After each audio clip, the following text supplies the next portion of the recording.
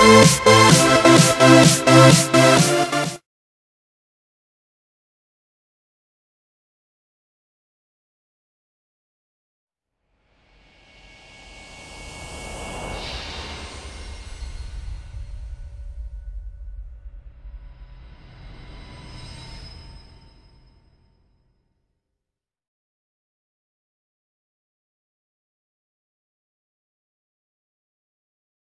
火の手が上がっているのは通称チャンピオン街と言われる一角。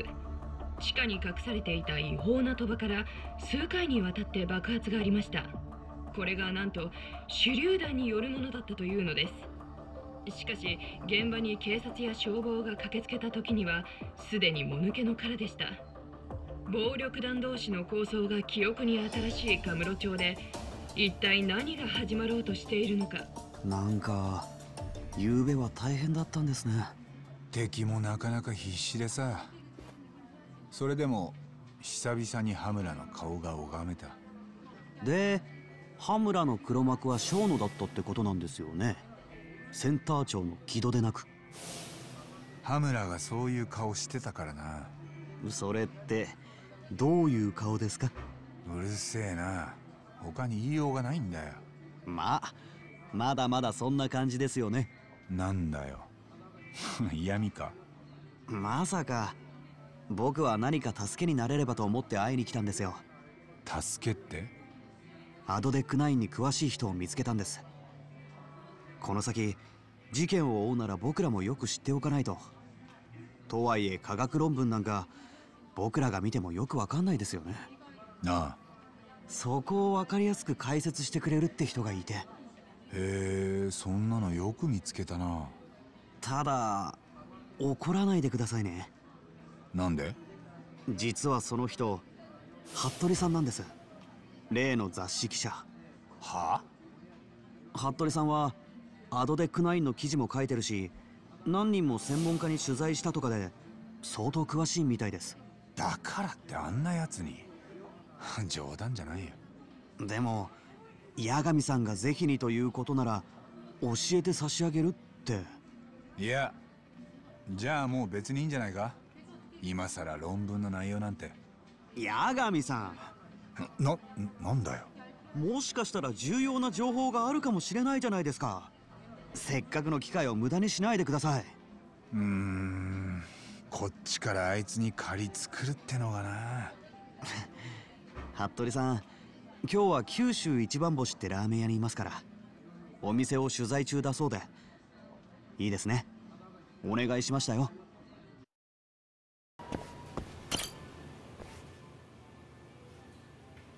服部さん？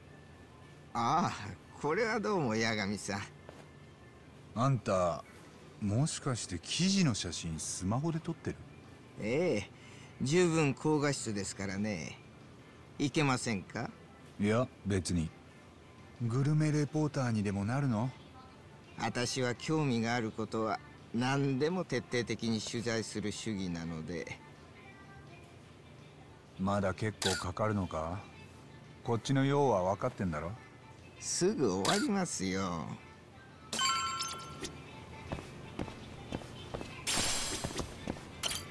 これで終わりましたどうもわざわざご足労いただきまして。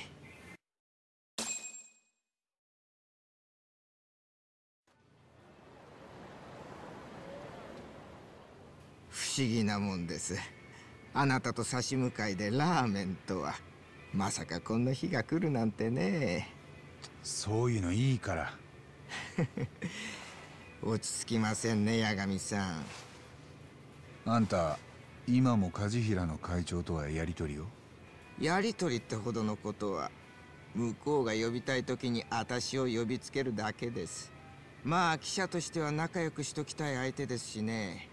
せいぜい利用させてもらいます。へえ。八神さんとも仲良くやりたいんですよ。だってほらこの間殺された新谷先生。あなたが第一発見者だったとか今日はアドデックナインを解説してくれるんじゃなかったか？でなきゃあんたといる理由はないな。わかりましたよ。じゃあ今日は一つ貸しってことで。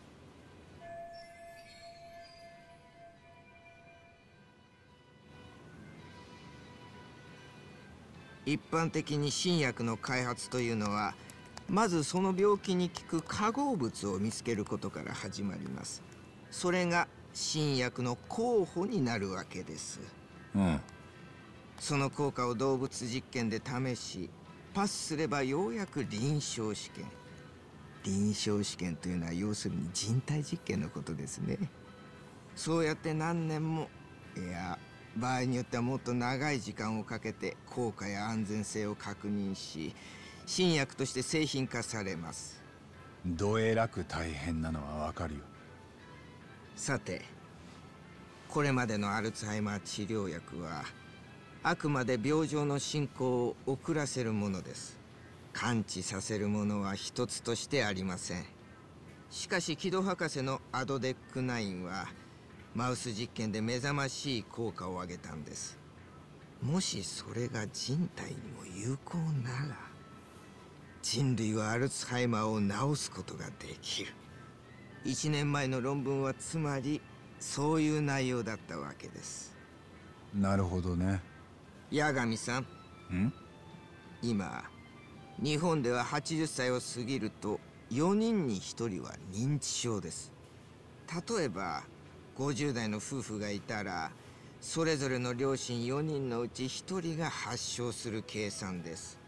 さらにその30年後自分か配偶者が認知症になってる確率は2つに1つ。認知症は誰にとっても人事ではありません。いずれ自分にそれと疑わしい症状が出たら私ならすぐ診察を受けますね。中にはうまく病状の進行を抑えながら仕事を続けている人もいます。認知症は恐れるのではなく備えるべき病気です。その時一番の敵は社会の無理解と無関心でしょうね。今のあなたのように。分かったよ。ではまず八神さんにはアルツハイマーの概要を知っていただきますが聞く気ありますか？他に選択肢はないんだろ結構。じゃあ始めますね前提として認知症にはいくつかタイプがありますがその7割が九段のアルツハイマー病です。脳にアミロイド β というタンパク質が蓄積することで発症すると言われています。すると神経細胞が死滅し徐々に脳が萎縮してしまう。つまり頭の中にたまるカスみたいなのが脳を縮ませるってこと？かなりざっくり言えばですがね。ただそれさえ仮説の域を出ません。アルツハイマーにはまだわからないことが多いので。脳が縮むとどうなる？記憶に支障が出ます。そもそも記憶には明記貯蔵検索というプロセスがありますがこの最初の手順である明記ができなくなる新しいことが覚えづらくなるんです。一つ私が印象的に思った例を挙げましょうか。ある認知症患者に日付を聞いた時今日は何月何日？と正しい答えが返ってきました。ところが今が西暦何年かと聞くと1952年かな。何十年も前の年を答えることがあるそうです。認知症ではそういった記憶の混濁が見られるというわけで。う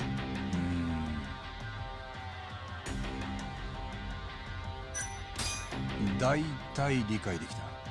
そうですか。じゃあそのアルツハイマーにアドデック9はどう効くんだ？ええ。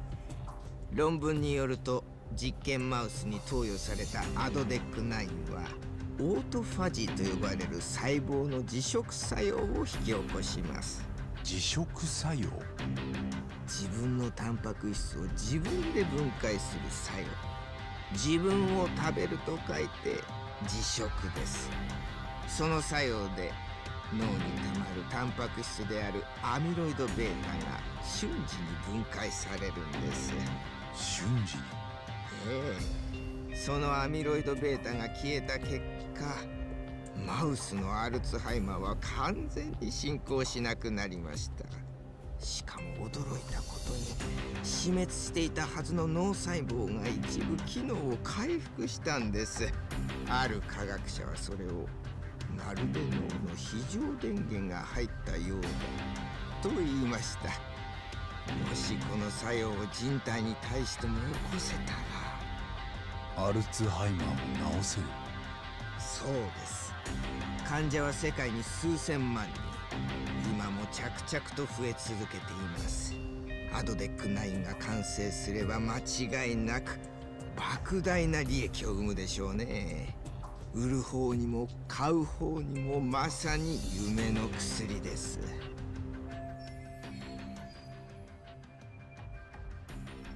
本当にそれは夢の薬なのか？話がうますぎるってこはい。と例えば創薬センターの副所長は何かアドデック9に欠陥があると疑ってた。それを嗅ぎ回った結果秘密を守る誰かに殺された。雪吊りの喧嘩に見せかけて。秘密というとどんな？データの捏造とか薬の効果をでっち上げてたとか。そういうことなら見当違いですね。ん？なんで？アドデック9は論文発表後マウスで何度も検証されていますしそれを裏付けるデータも揃っています。捏造なんてありえません。あの新薬はすでに科学的に証明された存在なんです。確かなのか。確かですむしろ私は論文に多少の荒があってもどんどん開発を進めるべきだと思いますね。認知症治療薬は世界中で開発が進められています。もしよそに先を越されたら国家的な損失ですから。木戸さんは慎重すぎますよ。いつまでも動物実験してる場合じゃありません。すぐにでも臨床試験に入っていい。臨床試験っていうのはつまり？人体実験です。人体実験？まさか。どうしました？いやじゃあアドデック9には本当に何も問題ないのか？そうですね。これは強いて言えばの話ですけど。ん？アドデック9の論文は筆頭著者が木戸さんとされています。が実は論文に箔をつけるために名前を貸しただけみたいですね。研究の実質的なキーマンは別にいてほらあなたもご存知の小野という研究員です。黒幕はショーノかアドデック9は木戸じゃなくショーノが作った。そのようですね。まあ単なる研究員の論文では誰にも注目されません。だからその道の権威の名前で発表される方が体裁も良い。でもよく聞く話ですよ。大した問題じゃありません。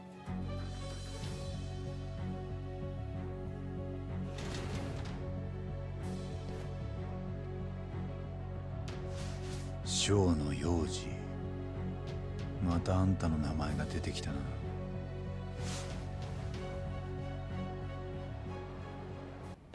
よう帰ったか。お帰りなさい。なんだ？みんな揃ってんのか？服部さんとの話どうでした？役に立ちました。まあ多分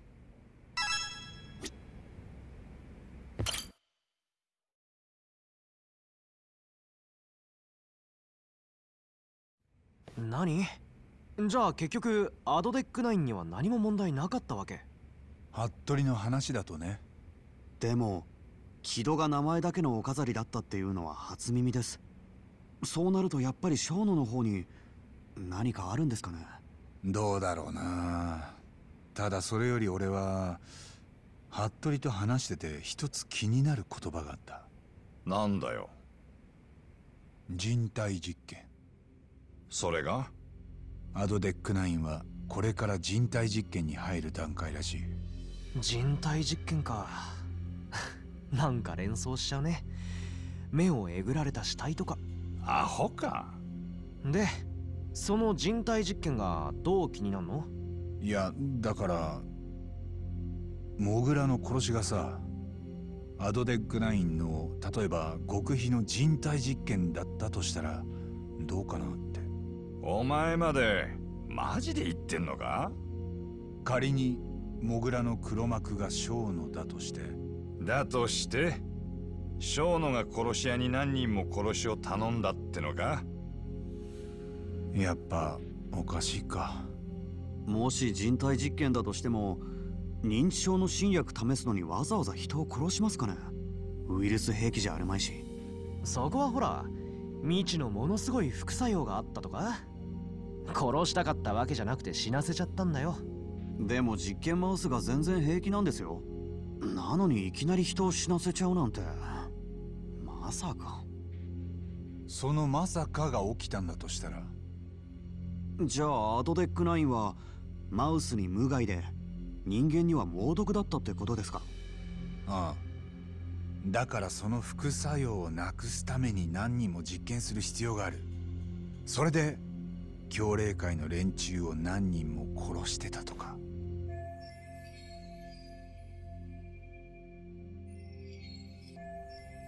待った。そもそも薬の実験ならその病気の患者に試さねえか？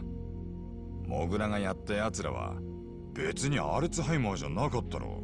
うんそうだな。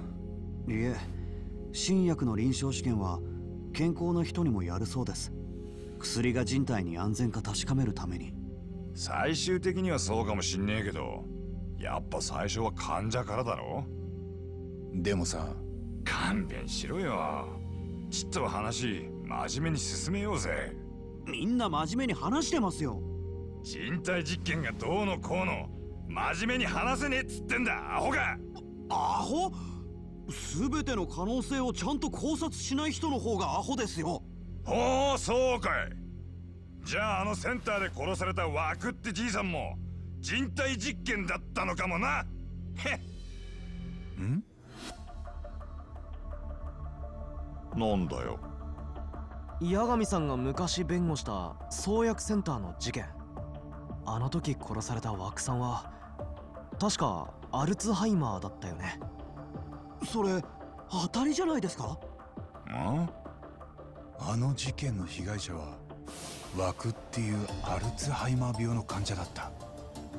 でも大久保新平は無罪になって結局今も誰が何のために和久を殺したかは分かってない。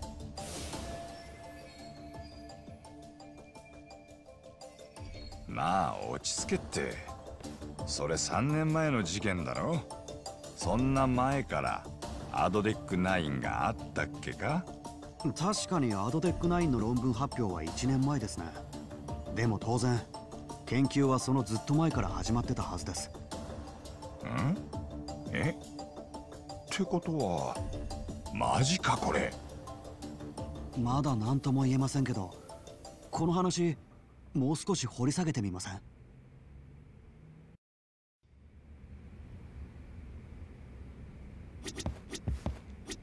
もし3年前の事件が人体実験の結果だったとしたらアドデック9は吹っ飛ぶね。スキャンダルどころの話じゃないよ。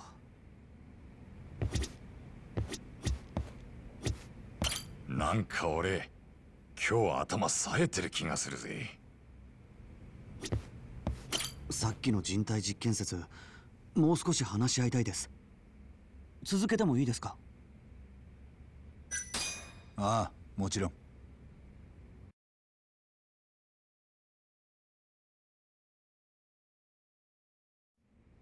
えっと小野が3年前に人体実験をやったとしてなんで急にそんなことしたんですかね。本来なら臨床試験に入る前にもっと安全性を確認するでしょうし小野の動機は何だったんです？うん。やっぱり画期的な新薬を早く人の体で試したかった。うまくいけば世界を救うって新薬だ。それでも正式な手順を踏んで臨床試験をやるまでには時間がかかる。下手したら何年も。そっか。でも小野のそばには認知症の患者がたくさんいてちょっとくらいの実験ならまずバレないでしょうし逆にうまくいったら万々歳です。それですぐにでも世界を救えるなら多少危険を冒してでも。でもその結果小野はまさかの副作用で患者を死なせてしまった。3年前の事件についてはやっぱりそれによる事故だった気がするな。なるほど。ただし今は危険を承知で人体実験を続けている。モグラを使って。まだ仮説の段階だけど今のところ筋は通ってるよなさっきの八神さんの仮説でいくとじゃあ大久保って本当に無実だったの？でもあいつその後恋人殺したよね？だから死刑なんでしょよせ杉浦。その話はまた後だ。ふん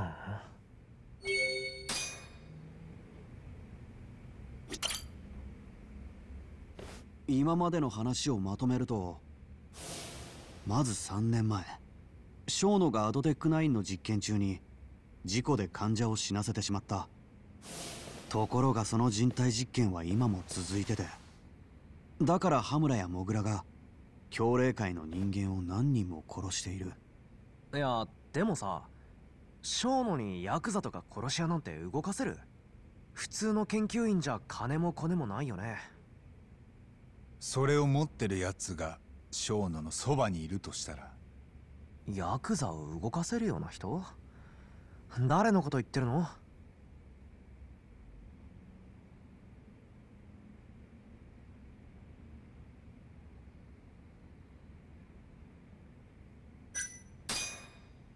創薬センターのトップ木戸隆介。なるほど。木戸ならセンターの金も動かせるでしょうしそういえば裏社会とつながっているって話もありましたね。そうですよ。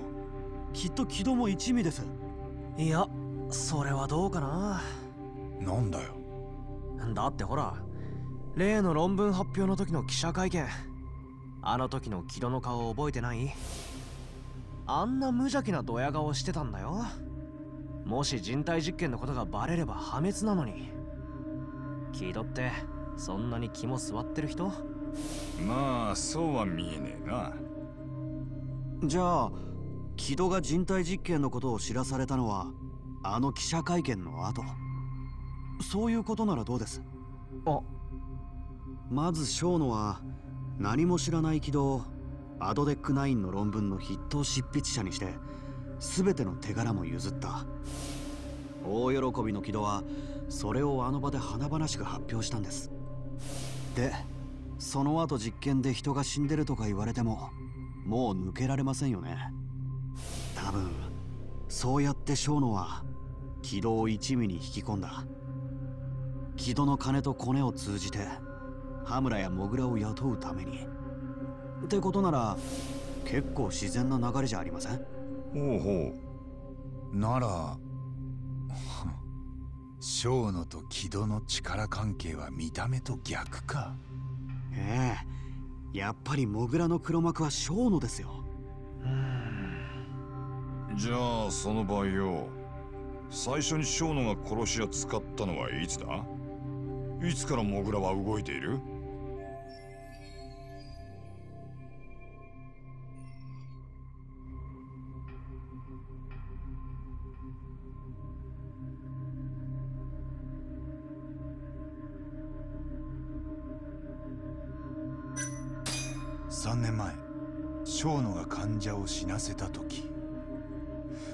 事件でモグラとつながったんじゃないか。でも小野が患者を死なせたのは多分事故であって想定外のことだったんですよね。そこで殺し屋を雇う理由って何かあります？そっか。じゃあ別のタイミングか。だからいつだよ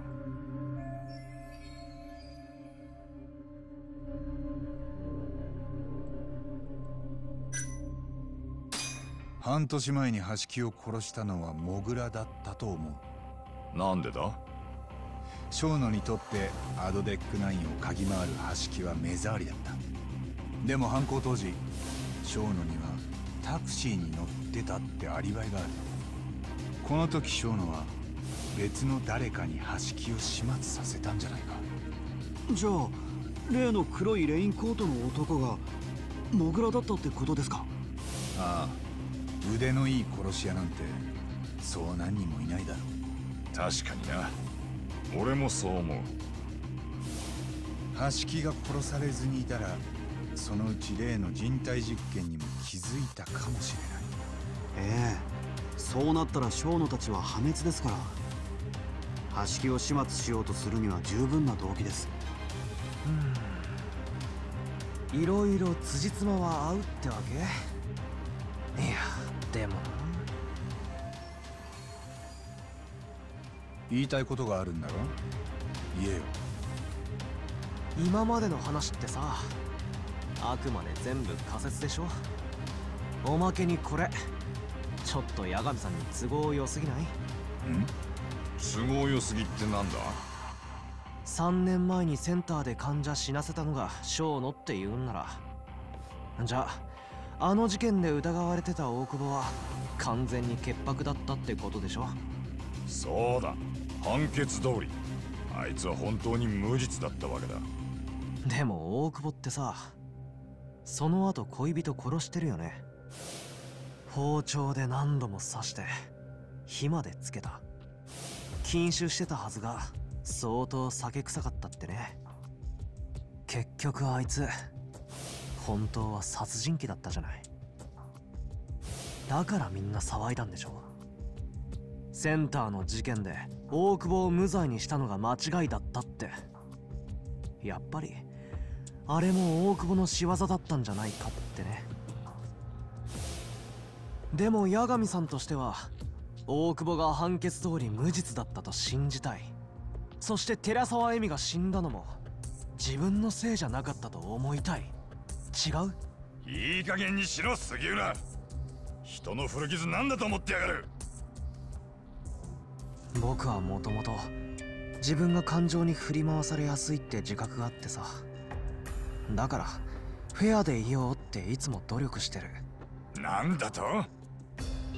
さっきの八神さんの仮説を進めるならまず大久保の潔白を確かめなきゃ創薬センターで枠っておじいちゃんを本当に殺してなかったかどうか。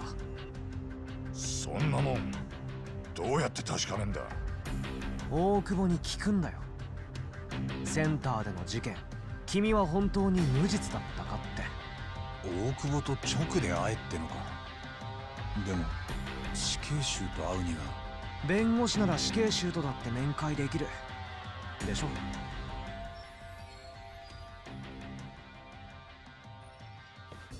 彼は俺を憎んでる。寺沢恵美の件で大久保はずっと無実を訴えてた。でも俺はそれを見捨てたんだ。もう諦めろってな。それでももう一度大久保って人間を見とくべきじゃないの？八神さんが本気でこの事件を追いかけたいんな。らどうする？星野君はい。大久保新平と面会する。手配。頼めるか？わかりました。拘置所に連絡します。その間に俺はもう一度大久保の裁判資料を見てくるよ源田先生のところに行ってくるはい